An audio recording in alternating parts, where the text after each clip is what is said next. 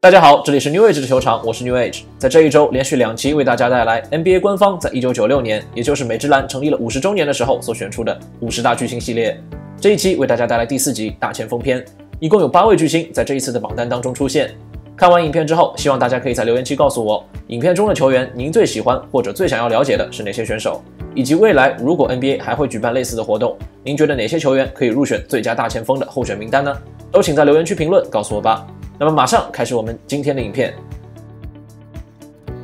Six seven from Syracuse National, Dolph Schayes。一九二八年五月十九日出生于美国纽约的 Schayes 是美职篮初期的巨星之一，被现任主席 Adam Silver 评为 NBA 历史上最具影响力的球员之一。在投篮技术还没有那么多样化的年代，Schayes 一直致力于用双手投篮进行得分，同时也是一位出色的篮板好手。少年时期的他就拥有高人一等的篮球才华，并且在大学期间就因为精湛的篮球技术赢得了超高的人气。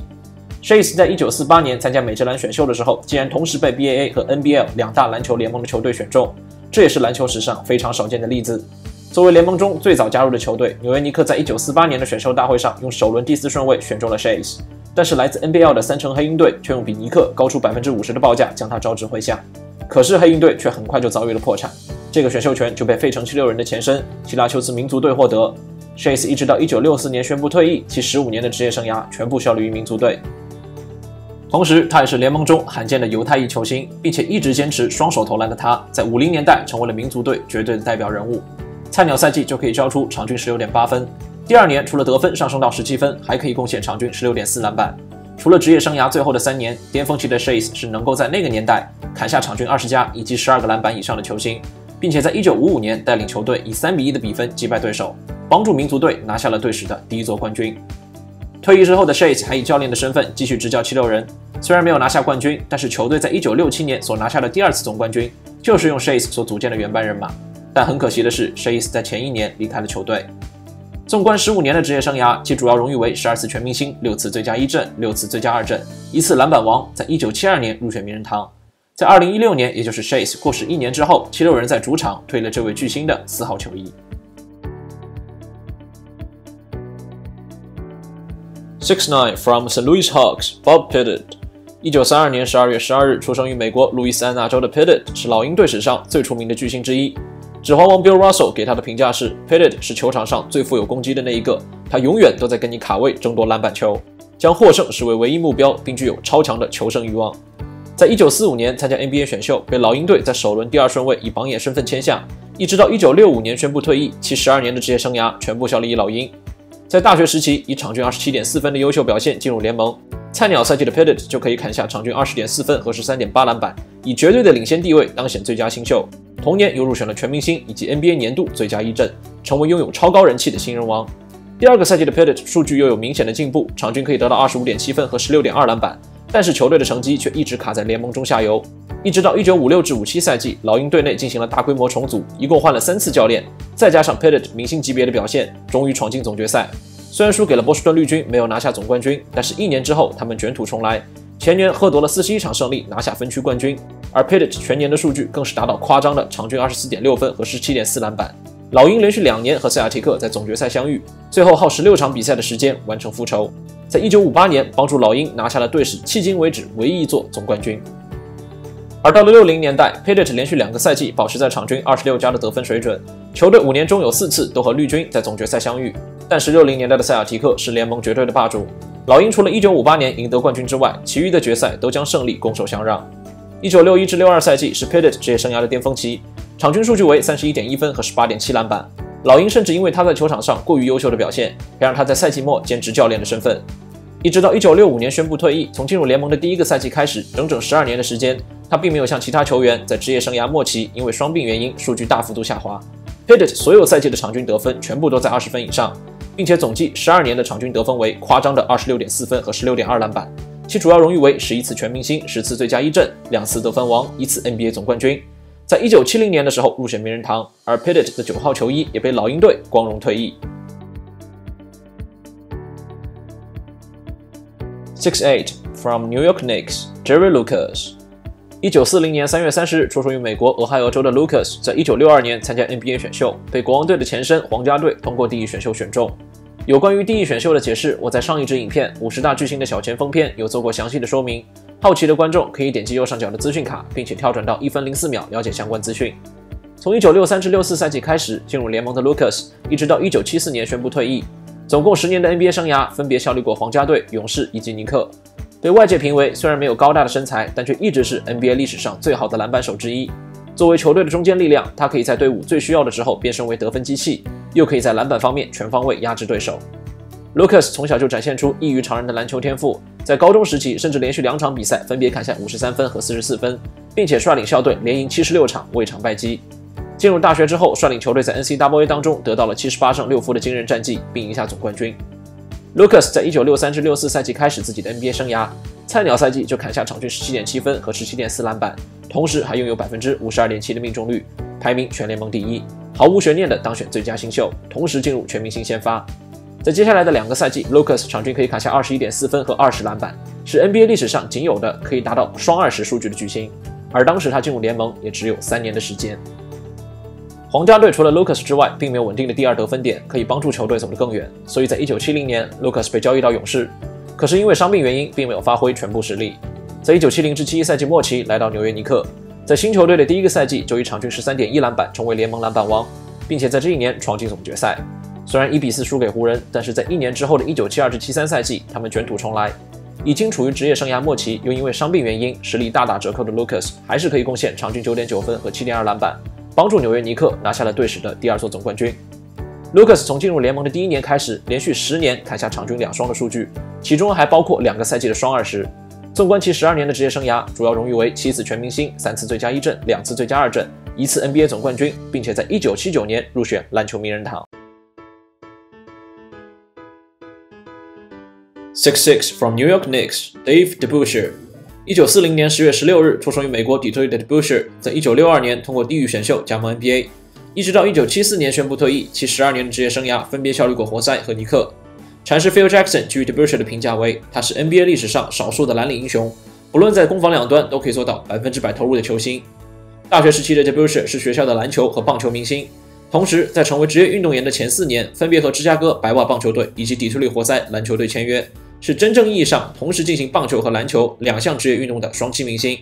四年之后，没有选择继续和职棒队续约，将全部的精力放在篮球身上。尽管如此，在兼职棒球这份工作的时期，他依然可以代表球队砍下场均十六分和十一篮板，同时在一九六六年到一九六八年还有接近三个赛季的时间在球队担任球员兼教练的身份。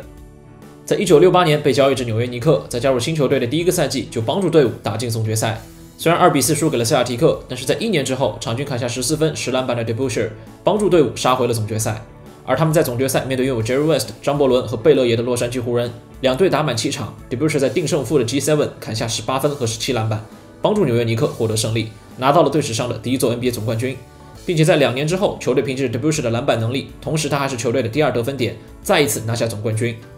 DeBusschere 虽然是蓝领角色，但是他在攻防两端都拿出了 MVP 级别的表现，并且一直到1974年宣布退役，他职业生涯的最后三个赛季，每年的场均得分依然在十五分以上，并且全部入选了全明星以及最佳防守一阵。而退休之后的他，又被联盟聘请为 ABA 专职委员，在1975年 ABA 和 NBA 的合并当中完成了突出的贡献。不论是打球时期，还是作为联盟管理层，都是推动联盟发展的先驱者。其职业生涯主要荣誉为八次全明星、六次最佳防守一阵、两次总冠军。在一九九六年入选名人堂，而他的二十二号球衣也被纽约尼克作为表彰，光荣退役。Six nine from Washington Bullets, Elvin Hayes。一九四五年十一月十七日出生于美国路易斯安那州，绰号为大翼的 Hayes，在一九六八年参加 NBA 选秀，被火箭队以状元身份选中。一直到一九八四年宣布退役，其十六年的 NBA 职业生涯分别效力过火箭以及华盛顿子弹。Hayes 被外界评为是 NBA 历史上最伟大的大前锋之一，依靠着标志性的转身跳投以及强悍的篮下防守打出名堂。在十六年的职业生涯中，一共登场了一千三百零三场比赛，仅有九场比赛缺席，累计出战五万分钟。在七零年代拥有铁人的称号，并且以两万七千三百一十三分排在 NBA 总得分榜第十位。在大学时期，以场均三十六点八分和十八点九篮板的恐怖数据当选 NCAA 最佳球员。在一九六八年进入 NBA，没想到菜鸟赛季的 Hayes 就以场均二十八点四分成为联盟得分王，并且带领火箭返回季后赛的行列。第二个赛季又以场均十六点九篮板当选篮板王。在火箭的前四年，场均得分可以砍下二十六加，并且贡献十五加的篮板。但是火箭队整体实力还是稍逊一筹，连续三年无缘季后赛。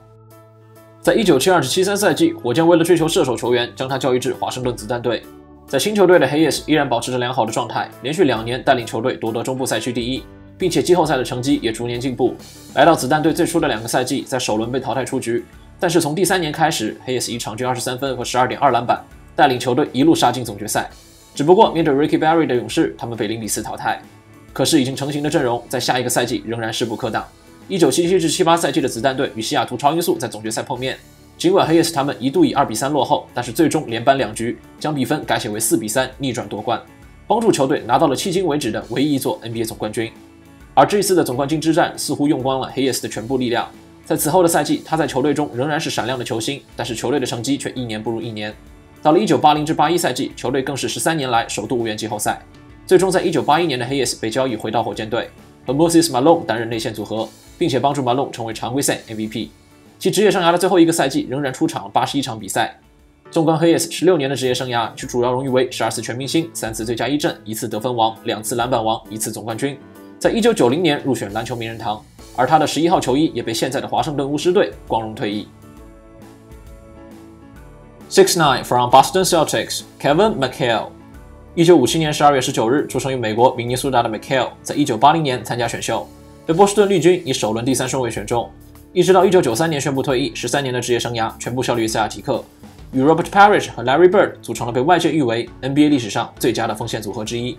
他的对手曾多次提到，一旦被 McHale 拿到球，他就是 NBA 历史上最难防守的低位球员。他极快的速度以及诡辩多端的动作，再加上超长的手臂，总可以找到投篮得分的角度。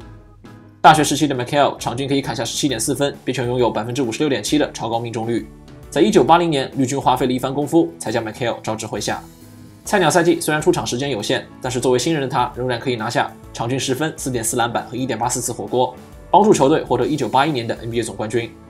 从一九八三至八四赛季开始，McHale 成为整个联盟第六人的代表人物，场均替补出场三十一分钟，拿下场均十八点四分和七点四篮板，命中率高达百分之五十五点六，帮助球队在常规赛拿到了六十二胜和二十负的优秀成绩，并且在总决赛与湖人鏖战七场，将对手击败，拿下总冠军。而 m i c h a e l 也在这一年拿下了年度最佳第六人的称号。一九八四至八五赛季的 m i c h a e l 蝉联了最佳第六人，并且投篮命中率提升是恐怖的百分之五十七。虽然这一年他们在总决赛被湖人成功复仇，但是一年之后成为首发的 m i c h a e l 以场均二十四点九分的表现，帮助球队在总决赛上用六场比赛击败了火箭，拿到总冠军。同时在赛季末，McHale 也达成了连续三年入选最佳防守一阵的荣誉。可是，在这一年，他也开始受到脚踝伤病的影响。虽然一年之后的1986-87赛季，他砍下了职业生涯最巅峰的数据，场均26.1分、9.9篮板和2.6次助攻。他还成为了 NBA 有史以来第一个投篮命中率超过60%，同时罚球命中率还可以超过80%的球员。并且 McHale 在赛季末入选了他职业生涯唯一一次最佳一阵。赛季结束之后，因为右脚的伤势没有痊愈，导致他在职业生涯的最后五个赛季都饱受伤病困扰，一直到1992至93赛季全部退役。在效力联盟十三年的时间，其主要荣誉为七次全明星、一次最佳一阵、三次最佳防守一阵、两次最佳第六人、一次总冠军。在一九九九年入选名人堂，而绿军也在一九九四年退役了 McHale 的三十二号球衣。Six six from Philadelphia Seventy Sixers, Charles Barkley。一九六三年二月二十日出生于美国亚拉巴马州的巴克利，在一九八四年参加 NBA 选秀，被费城七六人在首轮第五顺位签下。一直到两千年宣布退役，十六年的职业生涯总共效力于七六人、太阳和火箭。外界对于巴克利的评价为，他以小前锋的身高打着大前锋的位置，身体异常强壮，并且兼具灵活性，拥有内线的拼抢能力和后卫的技术。NBA 传奇 Bill Walton 说，在球场上没有人可以像巴克利一样，他是一个具有统治级别的篮板手、防守者，能投三分，还能运球和组织进攻。作为一位身高和体重的数值都很高的球星，巴克利十分擅长利用自己的身材去打球。在大学时期，场均拿下十四点八分、九点六篮板、一点七四助攻，其投篮命中率甚至高达百分之六十八点二。巴克利在一九八四年的 NBA 选秀当中被费城七六人以首轮第五顺位选中，只不过当年球队当中还有 Moses Malone 和 Dr. J 这样的顶级巨星，巴克利并不是球队的主力进攻点，但是他仍然以场均十四分和八点六篮板入选了最佳新秀，并且从第二个赛季开始成为球队的主力大前锋。在接下来的两个赛季，马龙被交易到华盛顿，Dr. J 宣布退役。场均得分可以砍下二十三加和十一加篮板的巴克利成为了球队的顶梁柱，并且他的投篮命中率也一直保持在百分之五十九的水准。但是球队却屡次在季后赛首轮遭遇淘汰。到一九八九至九零赛季开始，巴克利在季后赛交出场均二十四点七分和十五点五篮板的优秀数据，七六人也终于避免了在季后赛一轮游的魔咒，但是他们却连续两年在东部半决赛上遭遇 Jordan 和公牛，无奈止步于此。在一九九二至九三赛季被交易到太阳的巴克利成为了球队当之无愧的老大，全年以场均二十五点六分和十二点二篮板、五点一次助攻，再加上百分之五十二的命中率，获得常规赛 MVP，并且在季后赛上率领太阳从一九七六年开始，时隔十七年再一次打进总决赛。但是来到了西部的巴克利还是没能跨越 Jordan 和公牛这道高墙，在总决赛以二比四的比分输给对手。而巴克利在总决赛的六场比赛中砍下场均二十七点三分、十三篮板和五点五次助攻，倾其所有。到了一九九三至九四赛季，巴克利开始逐年出现各种类型的伤病，但是他还是可以贡献场均二十加和十一篮板。可是 Jordan 退休了，欧拉朱旺的火箭又来了。巴克利和太阳连续两年在西部半决赛输给火箭。在一九九五至九六赛季首轮被马刺淘汰之后，巴克利在一九九六至九七赛季为了总冠军的梦想加入火箭，但是他的伤病也愈发严重，场均得分也跌破二十，并且逐年下降。在一九九九至两千赛季时，因为四头肌跟腱拉伤休养了四个月之后的巴克利决定退役，正式告别 NBA 的舞台。纵观其十六年的职业生涯，主要荣誉为十一次全明星、五次最佳一阵、五次最佳二阵、一次常规赛 MVP。在二零零六年入选名人堂，同时巴克利的三十四号球衣分别被七六人以及太阳在两千零一年和两千零四年光荣退役。Six nine from Utah Jazz, Karl Malone。一九六三年七月二十四日出生于美国路易斯安那州，绰号为邮差的 Malone，在一九八五年参加 NBA 选秀，被犹他爵士在首轮第十三顺位选中。截止到二零零四年退役，马龙职业生涯的前十八个赛季全部效力于爵士。在最后一个赛季，为了总冠军目标加盟湖人。对手对于他的评价是：没有人能够像马龙一样拥有如此强壮的身材，但是他跑起来像是后卫，盖火锅的时候又像是中锋，同时还拥有出色的篮板能力。像他这样的大块头球员，还可以在球场上如此全面，实在是太令人震惊了。在大学时期可以砍下场均十八点七分和九点三篮板的马龙，在一九八五至八六赛季正式加盟爵士。虽然在这一年的季后赛上，球队没有闯过首轮。但在这仅有的四场比赛中，马龙的场均得分从常规赛的十四点九分提升到了二十一点七分，并且将这股状态延续到了第二个赛季。同时，球队将原来的核心 Dantley 交易走，马龙就逐渐成为球队的稳定得分点，投篮命中率和菜鸟赛季相比，从百分之四十八点一蹿升到百分之五十九点八。在一九八八至八九赛季，Jerry Sloan 成为爵士的主教练，再加上马龙和 Stockton 的配合愈发娴熟，爵士队时隔一年之后，再一次以五十一胜的成绩刷新了队史纪录。马龙以场均二十九点一分和十点七篮板的抢眼表现，首次入围年度最佳一阵。但是在接下来的几个赛季，纵使由他双煞在常规赛表现突出，但是球队却总是在季后赛首轮卡关。一直到一九九六至九七赛季开始，马龙以场均二十七点四分和九点九篮板的数据，在最有价值球员的评选当中击败 Jordan 当选 MVP，同时还率领球队打出了六十四胜十八负的队史最佳战绩，冲进总决赛。在九七至九八赛季，也同样保持着联盟最高胜率，杀进总决赛。只可惜，Jordan 和公牛为了完成自己第二个三连冠的霸业，连续两年用相同的四比二将爵士击败。而从这之后起，虽然马龙还曾在1999至2000赛季砍下当时爵士队史最高的单场50分和12篮板，但是却再也没有在盐湖城踩到总决赛的地板。一直到2003至04赛季，他以自由球员的身份加入洛杉矶湖人，和 Kobe、Shaq 以及 Gary Payton 组成四巨头。但这个时候的马龙已经40岁了，再加上长期的伤病影响，导致他整个赛季缺失了40场比赛。虽然加盟湖人的马龙时隔多年又一次打进了总决赛，但是面对活塞，他们被一比四击败。在半年之后的二零零五年两月，马龙宣布自己正式退役。纵观其十九年的职业生涯，主要荣誉为连续十一年的 NBA 最佳一阵，连续三年的最佳防守一阵，两次常规赛 MVP，十四次全明星。在二零一零年的时候入选名人堂，而马龙的三十二号球衣也被爵士队光荣退役。同时，球队也帮助马龙建立起了一座荣誉感十足的个人雕像。那么，观众朋友，对于本期影片中的八位大前锋，您最喜欢或者是最感兴趣的是哪些球星？以及您认为，如果以后还有类似的活动，哪些球员可以进入最佳大前锋的候选名单呢？都请在留言区告诉我吧。如果喜欢这期影片的话，请不要忘记订阅、按赞、分享和打开小铃铛。不要忘记去看看以往的影片哦。这里是 New Age 球场，我是 New Age，我们下期见。